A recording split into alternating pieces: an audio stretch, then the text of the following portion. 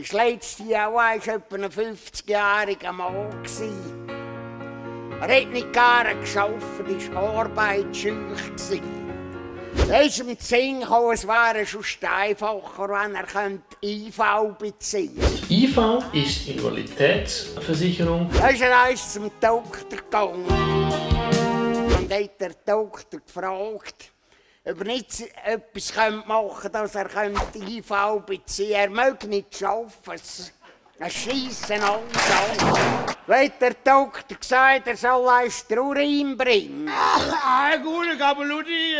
Nur heim hat er studiert, was könnte ich machen, dass der Urin Krankheit zeigt. Da hat er eine Flasche, eine leere Flasche Bier genommen und den Trichter geholt, drinnen gesteckt, hat er ein drinnen Brünzler, etwa zwei Dezi. Dann hat er von der Katze noch den Urin genommen. Dann hat er gedacht, dann nehmen wir jetzt vom Hund auch noch gerade. Zuletzt hat ihm die Frau noch müssen drinnen brünzeln, bis die Bierflasche voll war.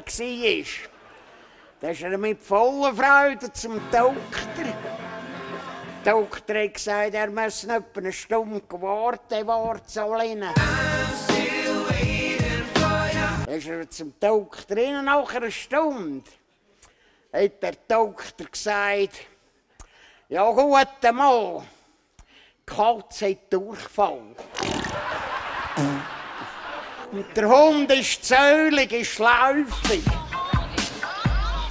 Und die Frau geht mit einem anderen Mann. Also tut mir leid, aber mit so einem Psychopathen kann ich keinen kein Frauentausch machen. Und sie können am Montag wieder arbeiten.